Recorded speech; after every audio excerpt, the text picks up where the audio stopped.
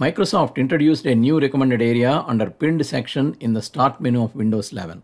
Based on recently opened files, folders and items in start menu, jump list and uh, file explorer and the latest installed apps, this displays some of them for quick launch. There are drawbacks with this. It shows half of the start menu without showing something useful. It is a security risk as it displays everything you open when start menu is opened.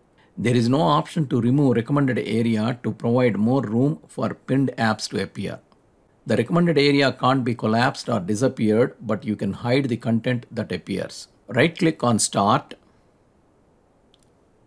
select Settings, select Personalization, navigate to Start and click on Start to open the Start settings. Turn off the following Show recently added apps, show recently opened items in Start, Jump List, and File Explorer. Close settings, open Start menu. This is how it looks. The recommended section does not show any apps. To restore items in the recommended area, click on Launch Start Settings, turn the settings on, close settings and open Start menu. The recommended section is restored. If you like this video, please subscribe to our channel.